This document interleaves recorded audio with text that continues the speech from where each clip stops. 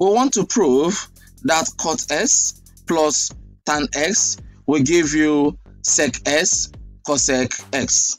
The value of cot x is cos x over sine x plus the value of tan x is sine x over cos x.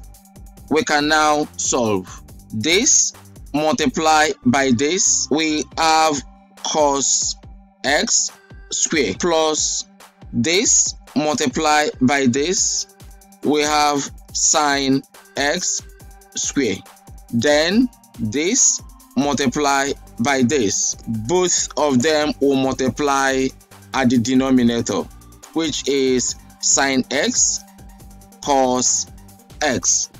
This can be rewritten as cos square x plus sine square x over sine x cos x. From trigonometric identities, cos square x plus sine square x is equal to 1. So instead of this, I will be putting 1. So I'm going to have 1 over sine x cos x. Next, this can be rewritten as 1 over sine x times 1 over cos x. 1 over sine x is cosec x and 1 over cos x is sec x.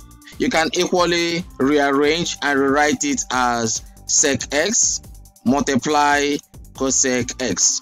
Both are the same thing, which is this.